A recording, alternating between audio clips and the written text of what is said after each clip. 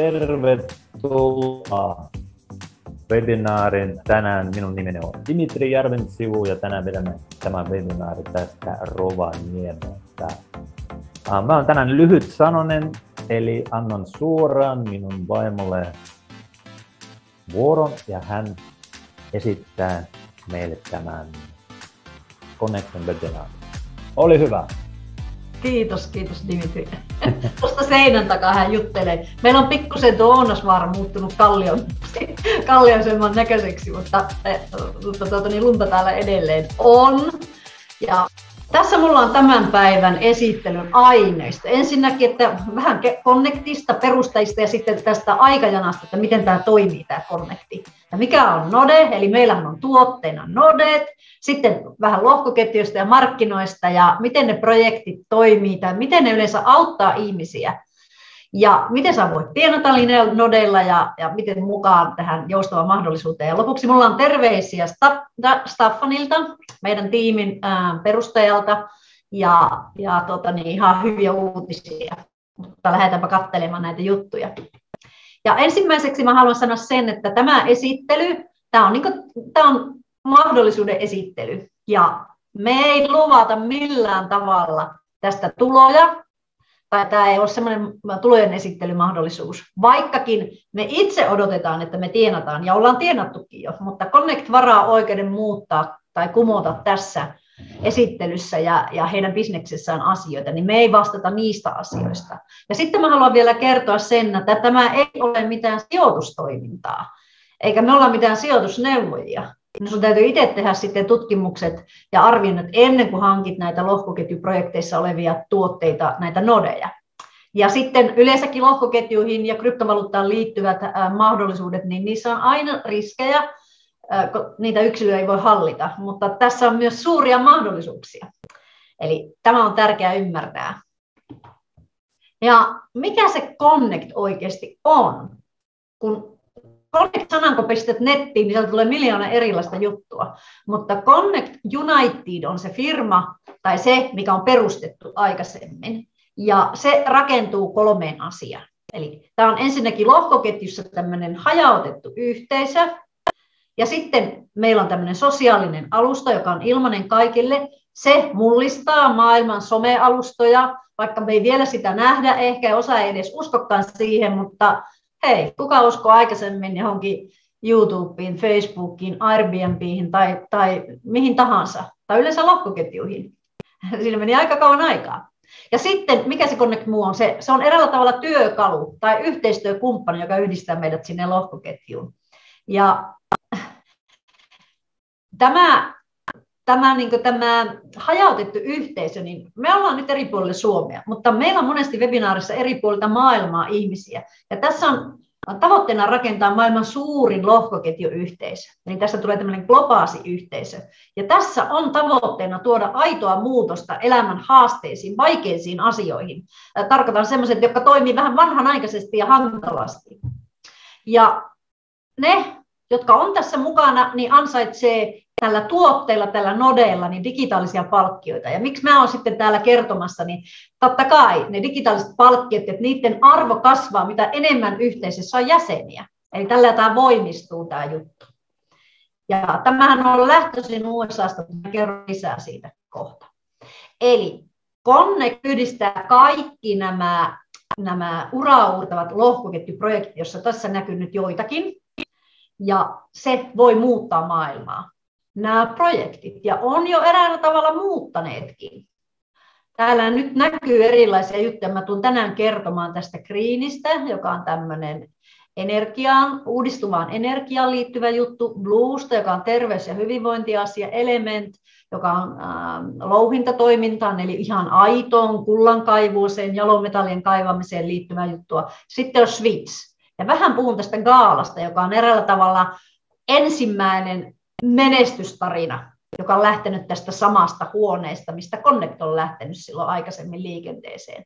Ja pikkasen näistä, näistä tästä tuotteista, eli tämä ei ole mikään sijoitusinstrumentti, ei sijoituspaketti, ei mikään sellainen, jossa luvataan 5 prosenttia sieltä ja 10 prosenttia täältä, vaan tämä on tuote Node ja Smart Node.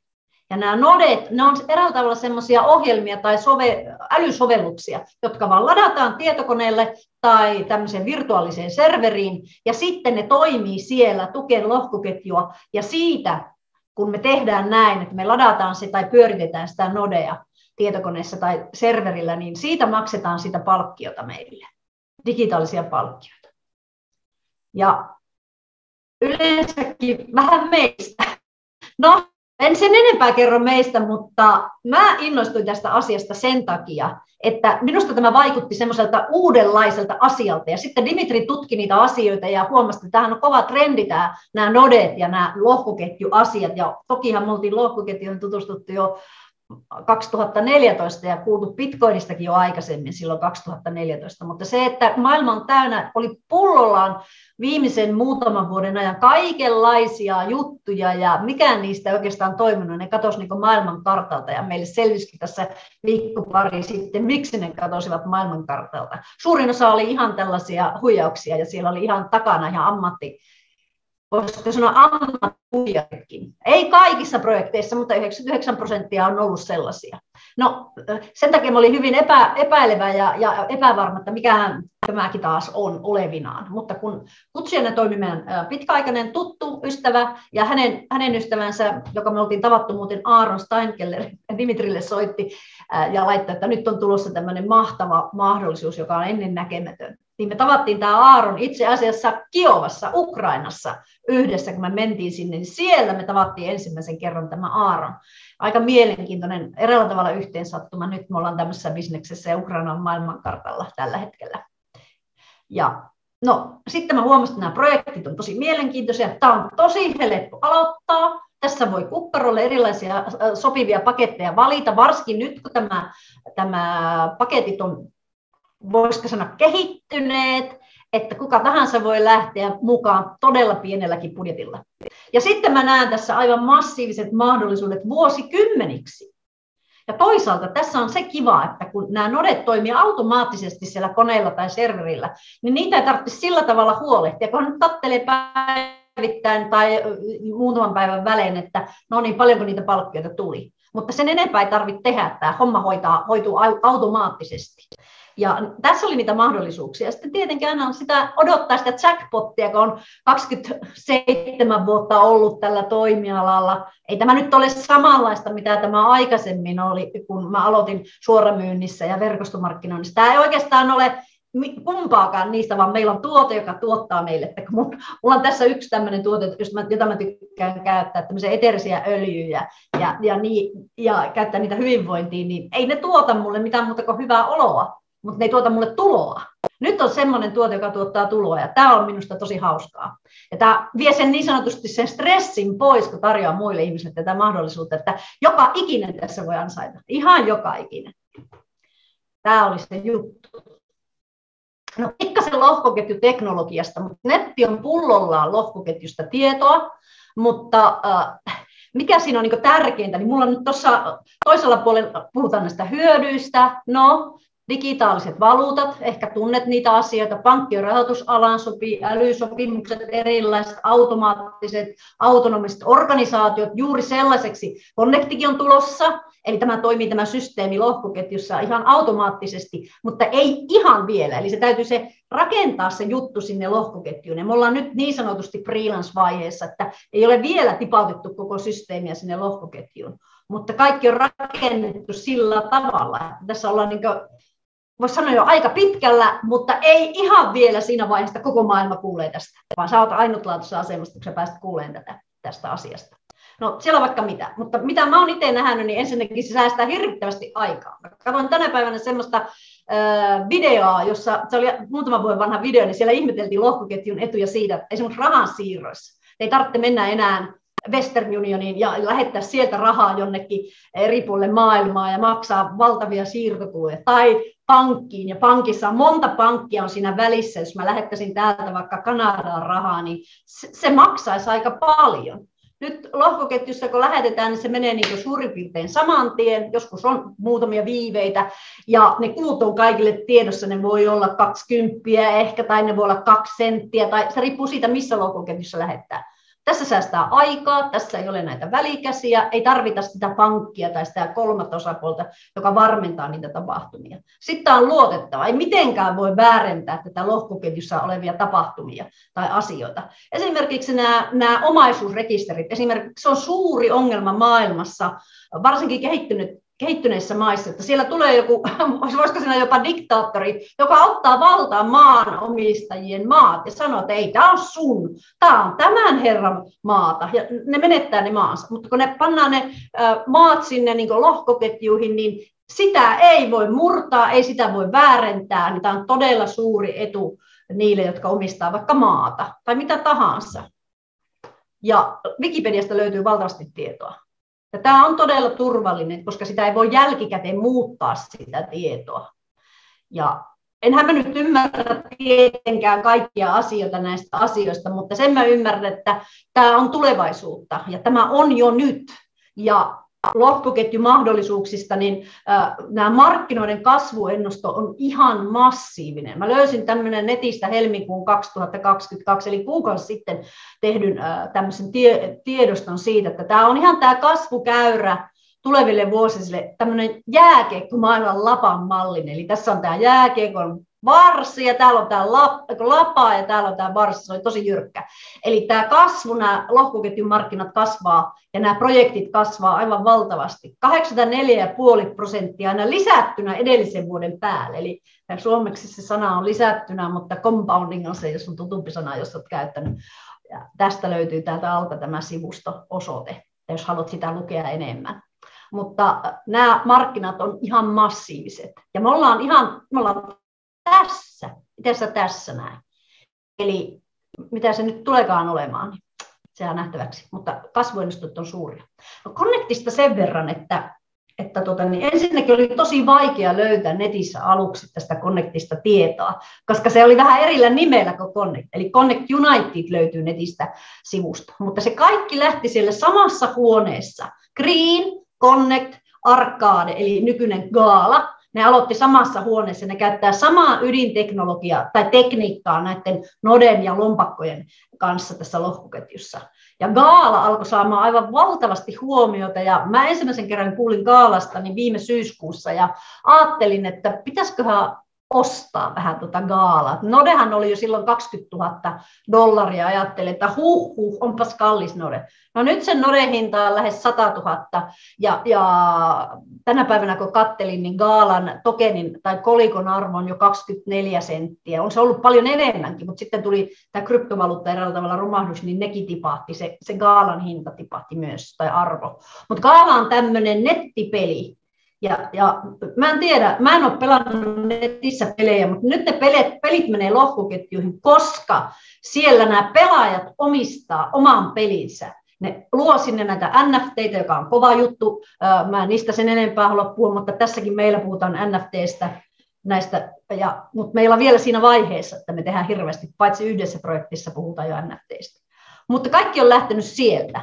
Ja mä halusin näyttää tätä aikajanaa, eli Green, joka on tämä vihreän energian lohkoketju, mä kerron sitä kohta, 2015 lähti tämä homma liikenteeseen. Sitten Green tuli lohkoketju, Connect visioitiin, ja sitten 2019 niin tämä Proof of Action aloittaa tämmöisen alfa-testauksen, ja, ja sitten beta-testaus alkoi viime vuonna. Eli tässä on se vaihe, ja, ja meillä on uusiakin, uusi niin aikajana on tulossa myös, mitä seuraavaksi tapahtuu, mutta me ei olla vielä saatu sitä. Mutta tämä kehitysvaihe on kovassa, kovassa, sanotaan, että sinne on palkattu paljon porukkaa lisää tekemään tätä työtä ja erityisesti Greenissä on tapahtumassa valtavasti hyviä asioita. Kuulin juuri tuolta aikaisemmin muutamalta henkilöltä, mutta niistä myöhemmin. No, aina halutaan tietää, kuka se on perustanut tämä homma. Niin täällä on tämä Fright Thurston. Se on perustaja. Ja hän oli, ää, tämä herra, tämä Nigel Allan, yhdisti tämän Brightin sen Gaala-pelin kehittäjän kanssa. Ne halusi kehittää pelin tuonne nettiin tai lohkoketjuun. Ja sitten Wrightilla oli siihen eväitä ja porukkaa, ja ne kehitti sen pelin, ja sen Gaala-peli, siitä tuli sensaatio. Ja Nigel Allan oli semmoinen, se yhdisti tämän Brightin ja sen peliperuskehittäjän, ja Raitti antoi Nigelille lahjaksi tämmöisen Gaala Noden. Tämä on mielenkiintoinen tarina.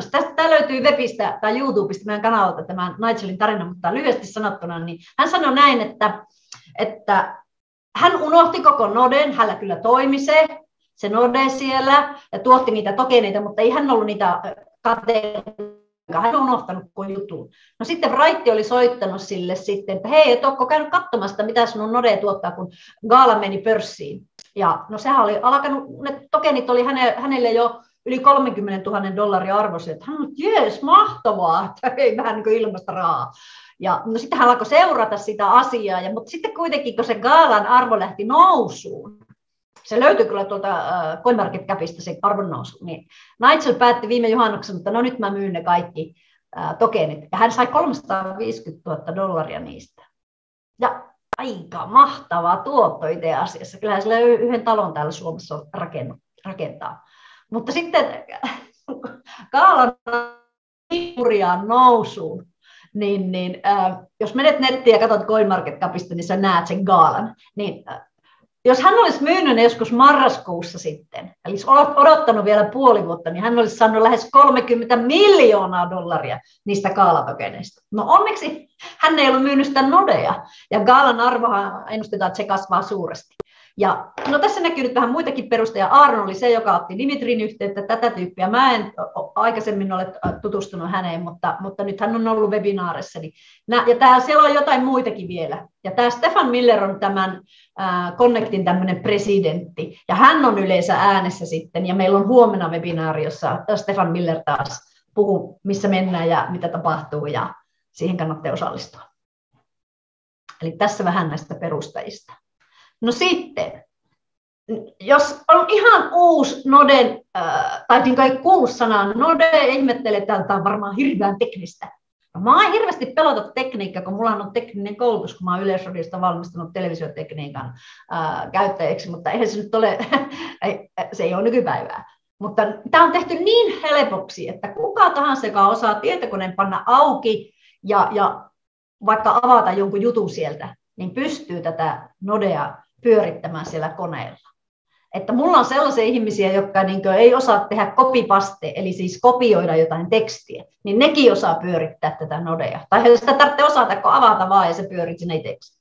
Eli nyttenkin tästä taustalla, itse asiassa mä en pannu sitä pyöriä, mutta se voi pyöriä. Mulla pyöri viime viikolla yksi, yksi node.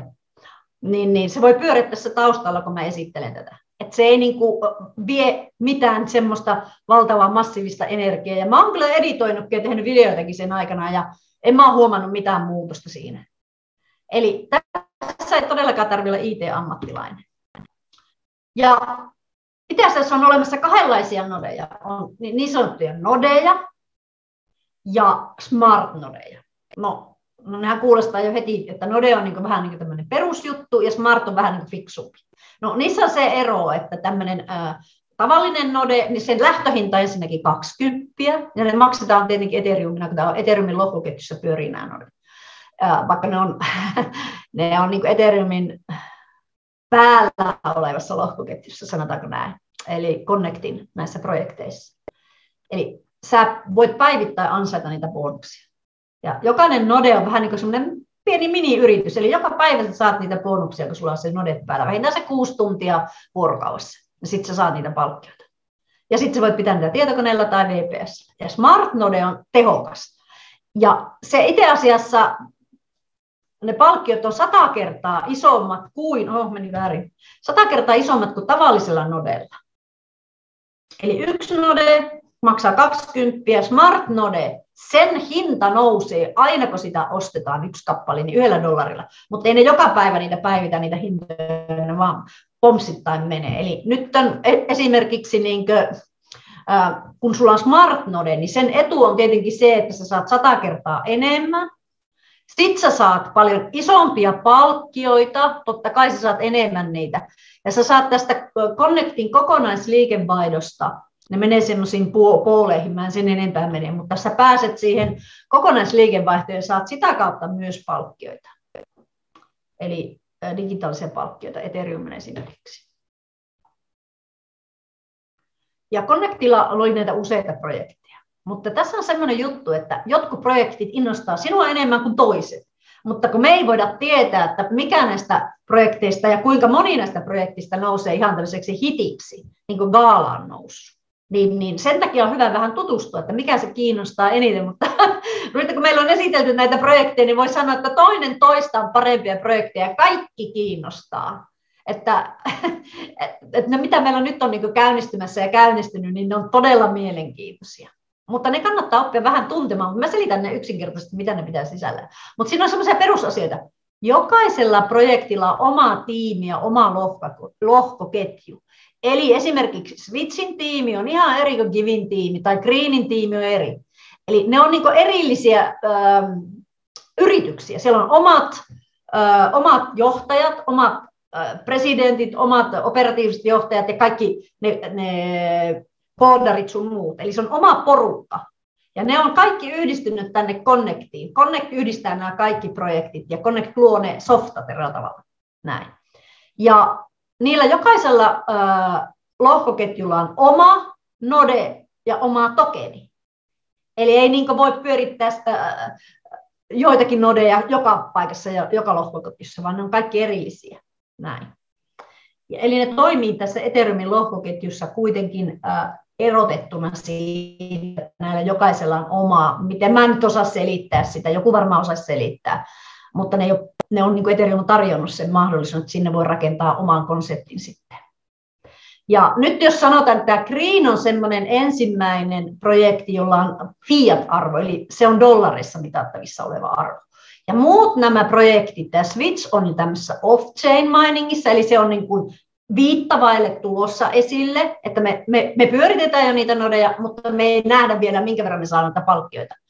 Ja, ja sitten täällä on Blue samassa tilanteessa, Element on ihan pian siinä samassa tilanteessa, Vin on jo toiminnassa, Vin on äh, Connectin oma, äh, mutta siitä myöhemmin ja näin poispäin. Eli ei ne kaikki tule yhtä aikaa.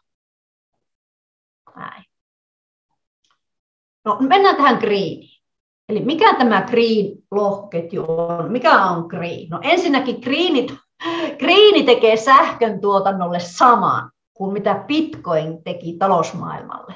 Eli aika iso juttu. Ja mitä tässä tehdään? Me Noden omistajat luodaan ensimmäistä globaalia sähköverkkoa, hajautettua sähköverkkoa.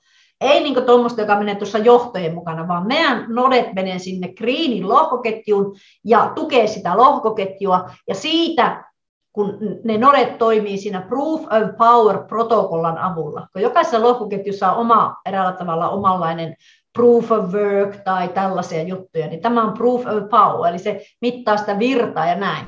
Ja sitten me saadaan niin kuin siitä tukemisesta niin palkkiona sitten näitä green tokeneita. Mä näytetään, Dimitri näyttää kohta, että minkälaisia ne on ja miten, minkä verran niitä tulee. Ja tämä on kehitetty niin kuin sillä tavalla, että sä voit pitää näitä greenejä digitaalisesti, sä voit siirtää niitä toiseen paikkaan, sä voit jakaa niitä ja kohta sä voit maksaa sun sähkölaskun näillä green tokeneilla. Yritys on selittänyt, tai Greenin porukat on selittänyt, että niillä on yli 7000 sopimusta eri sähköfirmojen kanssa eri puolilla maailmaa. Ja muun muassa Skandinaviastakin on yksi, ja meillä on vahva epäilys ja huhu siitä, että se on Fortum. Ja tänä päivänä kattelin niitä sähköhintoja, niin mä katsoin, että, että nyt kun mulla loppuu se sähkösopimus 7.5., niin nyt, äh, nyt mulle tarjotaan joka ikisestä sähköfirmasta 3-4 kertaa suurempaa hintaa, mitä mulla on ollut viimeiset kaksi vuotta. Siis ei se on 50 prosenttia noussut se sähköhinta, vaan se on moninkertaistunut. Musta tuntuu, että tässä on jotain veätystä, mutta kohta me voidaan ma- maksaa näillä kriineillä ne, ne sähkö, sähkölaskut. Ja sillä tavalla me saadaan vielä, no siinä on paljon muutakin hyvää etua, mutta tämä on niin todella, todella iso juttu. Ja voi olla aika trendikäs asia itse asiassa, ja onkin. Eli tässä on massiiviset mahdollisuudet. Sitten seuraava lohkoketju meillä on Switch, lohkoketju, ja sen avulla voi vaihtaa niin kuin saumattomasti erilaisia digitaalisia resursseja, vaikka Bitcoinia, Ethereumia, tätä Gala, Greenia, BAT, on, en mä sitä koskaan käyttänyt, mutta se on ihan tunnettu. Ja kaikkia näitä, mitä näistä tässä esimerkiksi tässä Connectin projektissa pyörii, näitä tokeneita. Eli sehän on tavoitteena, että, että sä pystyt hallittamaan tällä Switchillä kaikkia. Switch on tämmöinen tämmöinen kortti, Visa Debit-kortti, ja se on oma lohkoketjunsa. Eli sä pystyt sillä kortilla niin kuin, käyttämään, maksa, käyttämään niitä sinun kryptoja helposti. No, no onko tässä jotakin uutta? Ei, ei eräällä tavalla, mutta on. Ensinnäkin Switchin lohkoketjussa ja Switch-kortti, niin ensinnäkin se kortti voi olla ilmainen tai 20 maksaa, ja ne siirrot on ilmaisia. Sä et maksa niistä mitään. Sä voit vaihtaa siellä kortin sisällä niitä, että millä, millä kryptolla sä maksat. Ja se on tehty sille, että sun ei tarvitse tehdä niin kuin monissa kilpailissa kortissa, että sun pitäisi steikata sinne. Eli, eli, eli niin kuin periaatteessa niin kuin tallettaa rahaa sinne, että sä voit käyttää sitä kryptoa. Tässä sun ei tarvitse tallettaa niitä, tehdä 400 000 tai 40 tai 1000 tai dollarin talletukset, sä voit käyttää esimerkiksi 2000 4000 dollarilla päivässä sun kryptoja. Eli sä voit niin kuin hallita sun kryptovarallisuutta tällä Switchin, Switchin kortilla. Ja tällä Switchillä voi siis tallentaa rahaa, sillä voi lähettää niitä vaan ympäri maailmaa. Switchin tiimi on sellainen, että siellä on ihan huippuammattilaiset. Ja mä suosittelen joka ikiselle, että katsoo meidän YouTube-kanavalta niitä Switch-videoita. Siellä on ne johtajat selittämässä. Tämä on ihan huippujuttu. Sä voit vaihtaa sillä rahaa ja sä voit kuluttaa. Eli kaikkia voi yhdellä sovelluksella tehdä ja sillä kortilla vaan, niin se on tehty semmoiseksi, että sä vaan niin käytä sitä korttia vähän, kuka tahansa, iso äitikin osaa sitä käyttää. Se on tehty semmoiseksi helpoksi ja että kryptovaluutta ei enää pelota, vaan se on jokapäiväinen asia. Maailma menee eteenpäin, niin myös tämä. Tämä, tämä on minun mielestä todella mahtava projekti, että mä oon tästä innoissa ja totta kai Greenistäkin, mutta tämä on uusi projekti, niin se, se tarkoittaa, uusi projekti tarkoittaa sitä, että me voi, meillä on suuremmat mahdollisuudet vielä siinä. Vaikka en mä voi tietää, mikä niiden tokenneiden arvo tai kolikkojen arvo on. No sitten meillä on vielä Blue-lohkoketju, se on tämmöinen terveydenhuollon lohkoketju, eli me voitaisiin tehdä sitten tässä yhteisössä terveellisiä valintoja, me saadaan sitä kautta sitten näitä tokeneita palkkioksi. Ja jos me pyöritään sitä Blue Nodea, niin totta kai me saadaan sieltäkin palkkioita. Ja Jenkeissä tämä terveydenhuoltohan on ihan kamalan kallista, ja siellä tämä varmaan tulee olemaan ihan massiivinen juttu, tämä Blue. Ja Blue on myös siinä off-chain miningissa, eli, eli se voi toimia sitten, me ostetaan se node, mullakin on Blue nodeja, mä oon ostanut näitä pienempiä kuin mulle smart nodeja, mutta ne kuitenkin on toiminnassa, niin innolla odotamme paljon ne tuottaa, koska ne on eka vuotta jakamassa nyt näitä. Ja näitä Blue-palkkioita, niitä voi käyttää vaikka terveydenhuoltoon, omaan. Eikö se aika mahtavaa? No, sitten, sitten vielä yksi, Element. Element mullistaa kaivostoiminnan. Me ollaan oltu webinaareissa, jossa on ollut kaivostoiminnan kullankaivun ammattilaisia huippuja, tunnettuja julkiksia Jenkeistä, ja, ja tässä yhtiössä on aika paljonkin semmoisia, parikin semmoista tyyppiä. Eli tämä on perustettu kehittämään tätä, ähm, tätä teknologiaa niin, että sitä kultaa ja jalometalleja kun se pystytään nykyisin laitteella skannaamaan sieltä maan alta, että missä sitä on ja minkä verran, se pystytään jo näkemään. Niin Element on tehnyt sellaisen ratkaisun, että niitä ei koskaan sieltä nosteta ulos.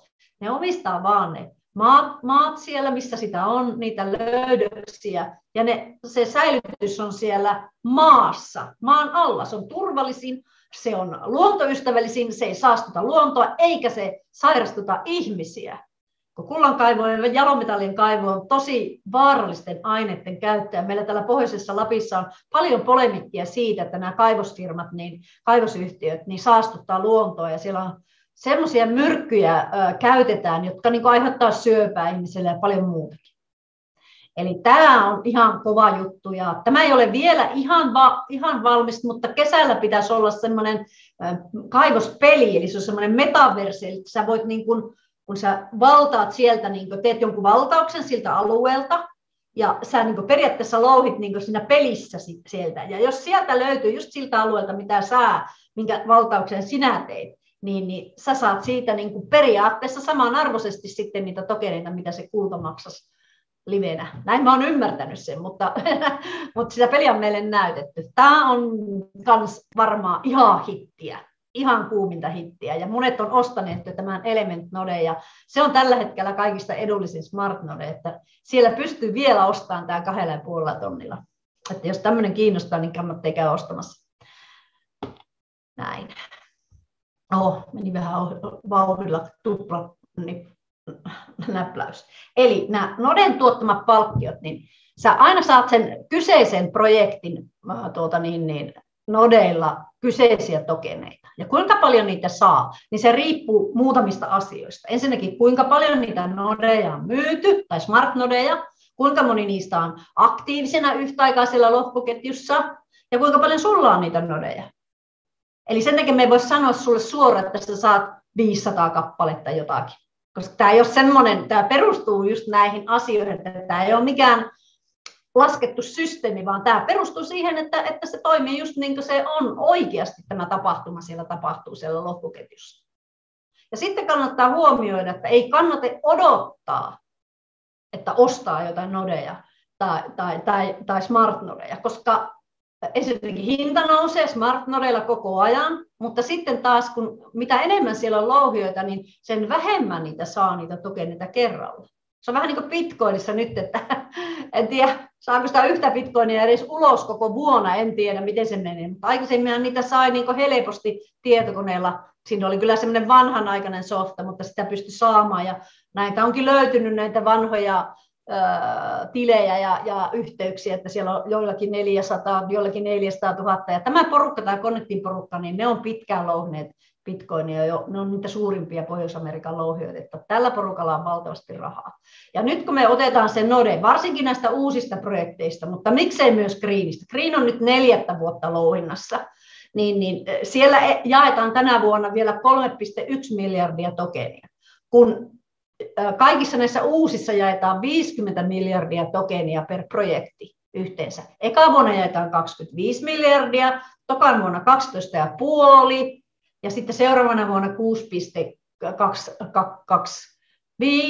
ja niin edelleen. Se puolittuu aina se määrä, minkä verran niitä tokeneita tästä louhinnasta saadaan. Ja tässä on se tärkeä juttu muistaa, että näitä nodeja ensinnäkin per projekti on vain 100 000 myynnissä, joka on siis tosi vähän, että vai sadalle tuhannelle, tai eihän nyt monet ostaa monta. Täälläkin on monilla kymmeniä green äh, smart nodeja ja meidän tiimissä ja, ja, ja ihmisillä.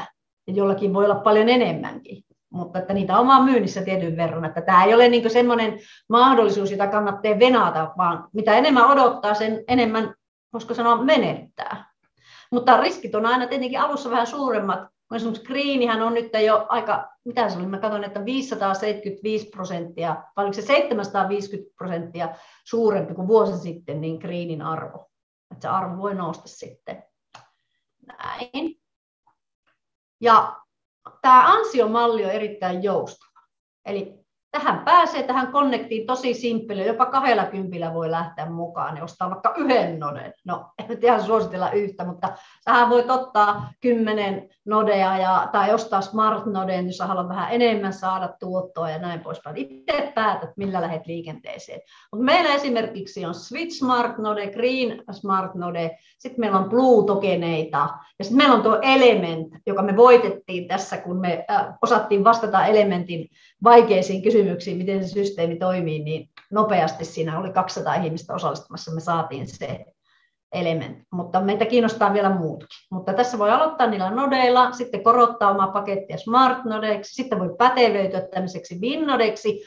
Äh, kun on smart node, niin saa bonuksia koko, koko Connectin jäsenten tuomasta nodemyynnistä, eli siitä liikevaihdosta, niin siitä jaetaan sitten. Ja sitten jos tulee Winnodeksi, eli on myynyt viisi tämmöistä Winnodea tai tämmöistä Smart Nodea ykköstä, se on tutuille, niin, niin sitten pääsee tämmöiseksi Winnodeksi ja sitten pääsee semmoisiin puolipalkkioihin. Mä en sen enempää niihin mene, meillä on erikseen bonusjärjestelmä mutta tämä toimii sille yksinkertaisesti.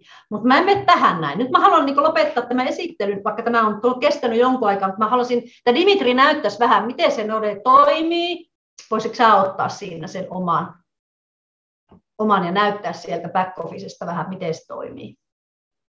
No niin, eli tässä on app, appi, jossa on, äh, voi katsoa seurata, mikä on Norden tilanne. Klikkan esimerkiksi klikkan tästä. Ja nyt tässä näyttää, että minulla on tai meillä on yksi Smart Node License ja yksi Node on nyt online, eli toiminnassa. Meillä on äh, Node toimi siellä VPN, VPSllä jatkuvasti sitä ei tarvitse, tarvitse seurata tietokoneen avulla koko ajan. Mutta tietokoneellakin toimii sirpala aika hyvin. Niin, tässä vaiheessa en näe sitä, mutta tässä niin kuin tarkistetaan, kuinka paljon on tullut, eli ää, kuinka monta kuukautta mä olen tässä tämän Noden kanssa. Eli joku pari kuukautta varmaan jo aika. Ja tästä on tullut 56 000 tokeneita jo päivittäin niitä tulee täällä voi, voi seurata, kuinka paljon on tullut tänään, eli 687. Pikkuhiljainen vähenne. Tämä projekti on toiminut pitkä aika, sen takia jäätään nyt tänä vuonna noin 3 miljardia tokeneita. Ja monia on myytty aika paljon, sen takia päivässä tulee noin, noin tämän verran. Okei. Okay. No hyvä. Mä voisin näyttää nyt sen vielä, että, että tuota, niin miten se Node käytännössä toimii. Mm-hmm. Okei, okay, sen, sen voi vielä. No. Eli kun mulla on tässä koneella nyt tämä appi, mä olen ladannut tämän Green Appin, niin mä menen tänne vaan omalla sähköpostilla nyt sisälle. Ja mä olen luonut aikaisemmin sen systeemin, että mulla on se tili ja nyt mä menen tänne. Ja sitten tästä vaan kirjaudun sisälle ja nyt se näyttää mulle, että nyt se node toimii. Se on näin yksinkertainen, niin kuin kirjautuu sisälle johonkin.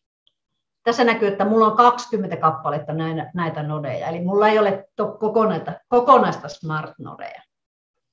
Ja mulla on niin vähän näitä näin. Mutta sitten esimerkiksi tässä nyt näkyy, että mulle on maksettu palkkioita niin, niin, niin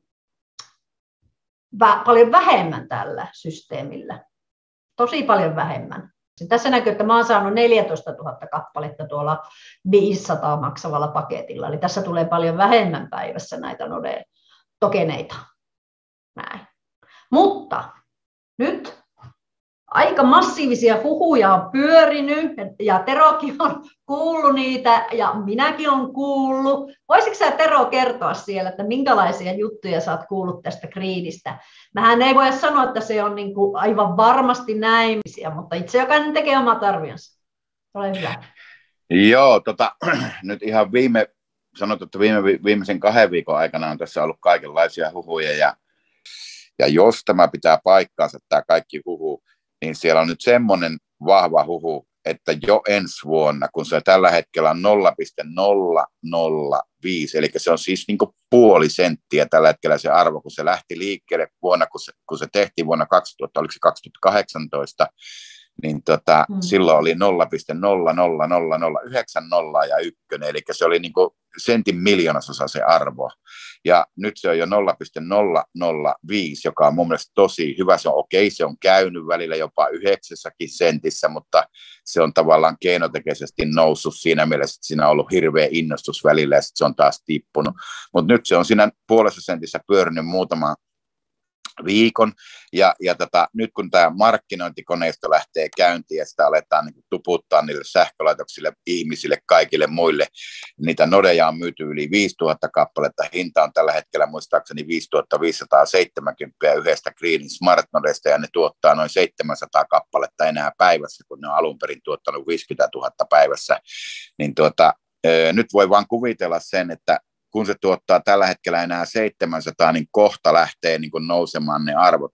Eli tavallaan kaikki on yrittänyt sitä, että se arvo pysyisi mahdollisimman alhaalla. Kukaan ei ole puhunut, mistä sitä voi ostaa, miten sitä voi ostaa, koska on kaikki halunnut, että antaa lauhia, antaa lauhia, antaa lauhia, että niitä olisi mahdollisimman paljon. Ja nyt aletaan markkinointi, ja nyt kun se nousee tästä, niin tota, ensi vuodeksi on ennustettu siis tämä voi olla ihan potaskaa, kukaan ei lupaa tätä, minä en lupaa, Sirpa ei lupaa, eikä kukaan muukaan lupaa, mutta sitä on ennustettu, että se olisi ensi vuonna jo yhdessä dollarissa yhden, yksi kappale.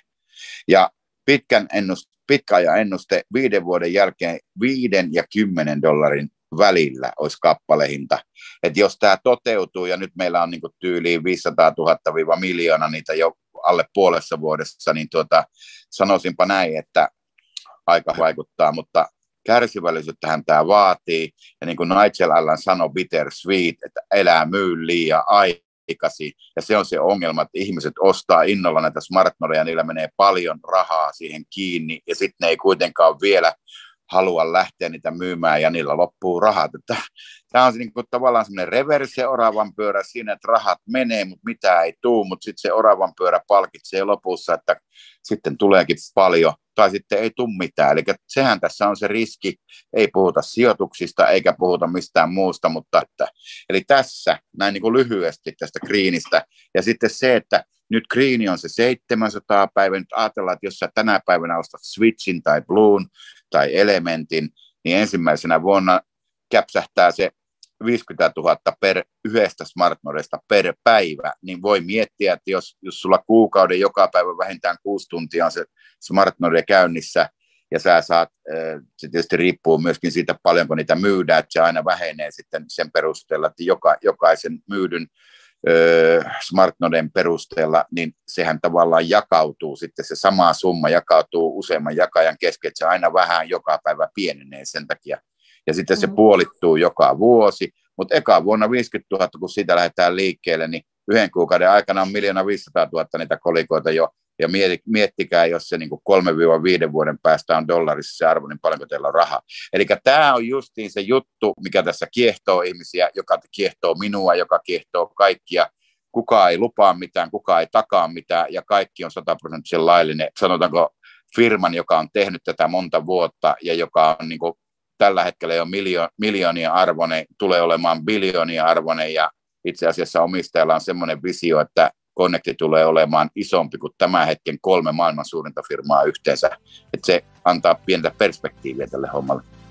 Niin, se on justiinsa tässä näin. Me ei voida luvata, mutta mahdollisuudet on suuria. Ja monet eivät ole ymmärtäneet, kuinka nämä uudet projektit, kun Element, Switch ja Blue ja nämä näin, kuinka niissä voi saada todella paljon niitä tokeneita, kun nyt me saadaan pieni määrä vaan näitä greenejä. Mutta kiitos teille. Kiitos kaikille.